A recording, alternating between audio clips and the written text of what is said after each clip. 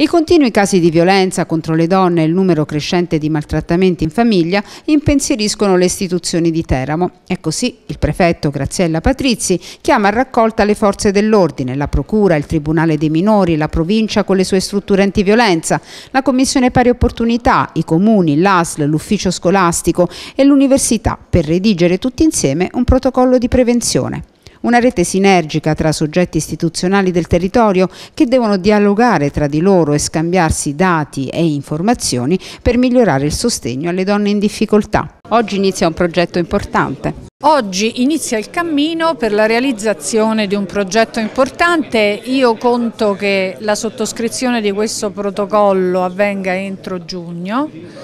Eh, adesso questa mattina c'è la presentazione del protocollo in sede di conferenza provinciale permanente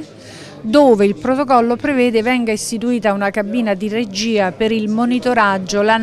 per il monitoraggio della situazione, l'analisi dei dati e poi anche per eh, adottare le iniziative conseguenziali interistituzionali cercare di governare, limitare, prevenire le forme di violenza, favorire l'integrazione anche per esempio con eh, le famiglie del, degli immigrati eh, nelle quali molto spesso eh, avviene proprio a seguito loro, del loro arrivo qua, un'alterazione un po' dei ruoli all'interno della famiglia e quindi momenti di smarrimento. All'incontro hanno partecipato anche i rappresentanti dei servizi sociali dei comuni teramani che a detta di tutti devono essere rafforzati perché sentinelle preziose sul territorio oltre al centro antiviolenza La Fenice gestito dalla provincia di Teramo. Che dati avete come centro antiviolenza La Fenice? Allora, purtroppo i dati sono eh, in aumento e questo vuol dire sostanzialmente due cose. Una che il fenomeno della violenza sulle donne purtroppo non accenna a diminuire,